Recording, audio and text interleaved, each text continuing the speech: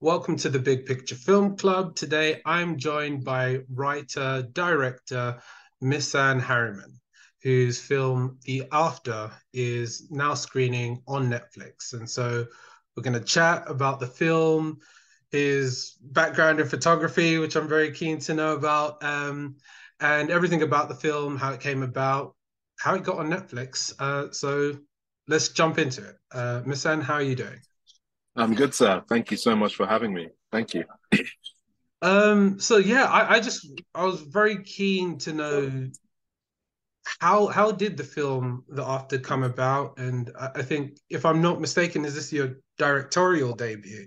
And it so, is, yeah. Yeah, and so that's it's a it's very it's a very bold choice. And in terms of your first film, like why why does this film um why is this film the film for you, and what, why was this the first choice? Well, I think you know when I was discussing with Nikki, the extraordinary producer of this film, um, about what stories are in my head, I there are probably a hundred, maybe five hundred, maybe a thousand stories, you know, in my head that are pretty much fully formed. This one uh, made sense. She thought, um, you know, and I agreed that, you know, a short is uh, the best direction to, to really go. Um, as a first time filmmaker.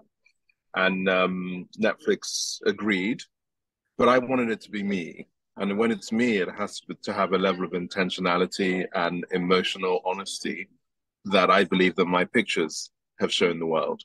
Mm. And so this this story um, really is a, ta- a tapestry of some personal experiences and just things that, that I've read and seen on social media and the news, and all, obviously our collect our collective experience during George Floyd and lockdown. So I think all of that is part of the ingredients that made the story. And then I linked up with a, a young writer called JJ, who had this amazing, you know, elasticity of thought to put a lot of the feelings um, that I was trying to find onto the page.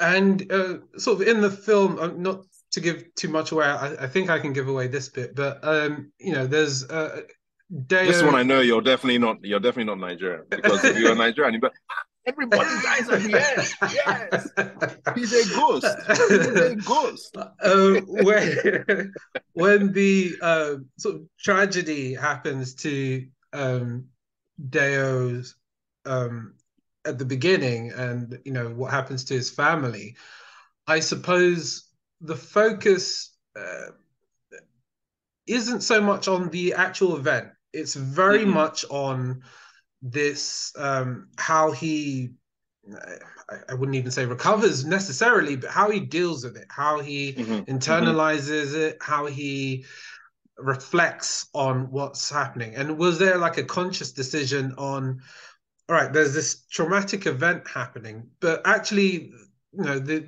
the technical aspect of uh, the specifics of that event are not the focus. No. And they don't need to be explored because everything is really like it, the heart of it is really in this process afterwards. Was that like yes. conscious? Yeah, and yeah, the the after. How do you function within yourself and in society when all has seemingly been taken from you? How? And that feeling i know you know chronic depression suicide is, is highest rate has been for years. That there are many people in the world that feel that they don't quite know how they can find light within themselves in this very complicated world.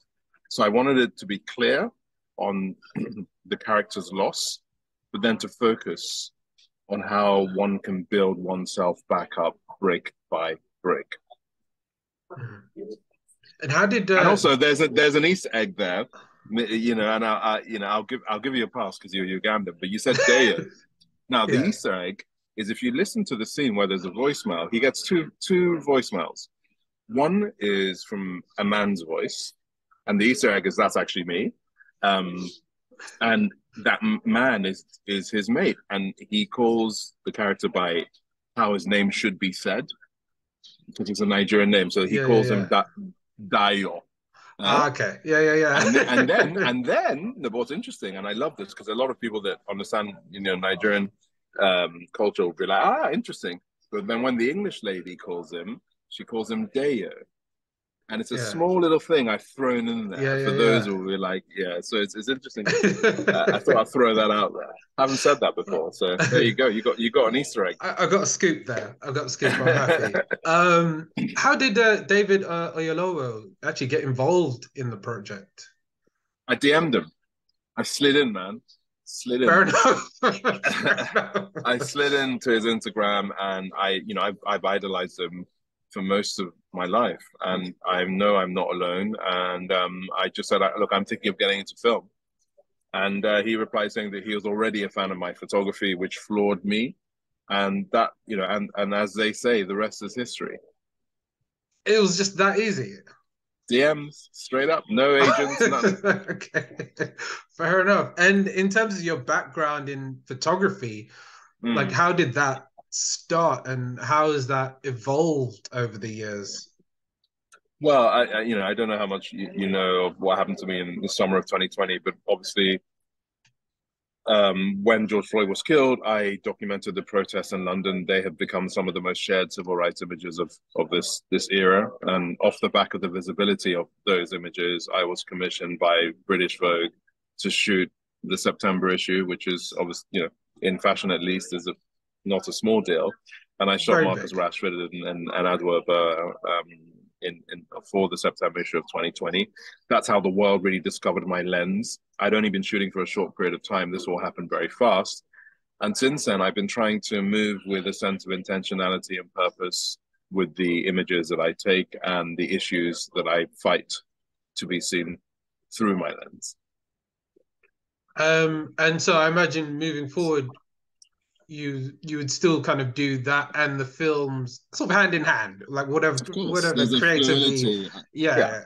yeah it's i'm a storyteller whether that lives in in my capacity as you know chair of one of the largest cultural institutions in europe or my photography or the work i do with the charities that i work with save the children and choose love or filmmaking it's it's it's to use art and culture to bring attention to issues that i care about or to exercise demons that are still climbing out of me. Usually a mixture of both. And um, one thing that I was really like piqued my interest um, about the release is that it's on Netflix, available now. Um, But Netflix are not necessarily known for short films, and I think no. you know short films, uh, you know, don't always have the best avenues for distribution.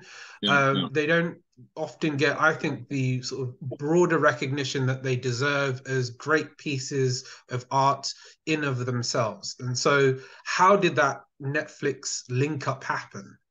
Well, you know, I think um, that we, you know, people heard that I wanted to get into film, and because of, um, I would say my visibility as a photographer, um, conversations were had with numerous companies like Netflix. But I was really impressed with the people I met at Netflix: uh, Lisa Nishimura, Tendo, and then my executive for this film, who really commissioned the film, was Fiona Lamptey, and and of course Anne Mensah, and um, you know, they allowed me to do something. You know, I mean, you've seen this. This is not not many platforms put what I've put on screen in terms of where Yeah. where it goes, right? Um, and I've got to applaud Netflix for allowing this to be unapologetically uh, the vision of what I wanted for my first film. Now, I believe it's Netflix's first UK original short. Um, Oh, wow. They've also got, they've got yes, and, and this season they also have the wonderful Henry Henry Sugar film with Wes Anderson, which is also a short. So I think, as you said, I completely agree. Shorts as a standalone medium are um, as important as powerful as, as as anything in the moving image. So hopefully, I won't be, you know, the the last to do this with a platform that has such a reach. I mean, today it's dropping to circa 230 million people will have access to a short film. There is no universe uh, in a regular film industry that a short film, you know, you do you do some festivals and you know it's almost impossible to get into a cinema. So it kind of ends up on a Vimeo page, right? So this is this is I'm very thankful and I hope this helps the industry invest and celebrate the short form live action and animated um, side of things uh, even more. Um, And uh, if I'm correct, you're also the chair of the Southbank Centre. Yes, sir. Oh, and so in terms of like in terms of your, I guess, ability from a wider perspective to help steer arts and culture in a particular way, mm. or, or, uh, help, uh, you know, drive the vision of the Southbank Centre. What does that mm. involve for you, and what are you hoping for the Southbank Centre? Because that's a very important cultural institution. Yeah, yeah, it is. You know, it, it's a, the UK, it's, for the UK yeah, it's a priceless institution that really is a village hall of this great nation. You know, multi art center where we everything from classical music to street and skateboard culture, contemporary music, um, literature. It's just extraordinary, and it's on 11 acres of space um, that is really owned by this country. And you know, in my capacity as chair, is to help support the amazing creative visionaries that we have Ralph Rugoff for the Hayward, Mark Ball, the overall artistic director, um, Toks Dada, who's the head of classical music. These are brilliant souls.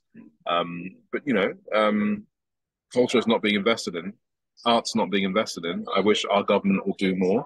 So it's my job to go out there and, and work with our leadership team to make sure we get as much support from this government as we can do, and also donors and, and corporate partners. And to keep making sure people know that not just London is open, but Southbank is open to all. And it's the most inclusive and uh, diverse art centre, I believe, in the world. And of course, uh, we host the BAFTAs and the London Film Festival, which which obviously means we, we are uh, a, a very good friend of the film industry as well, which is makes me very happy.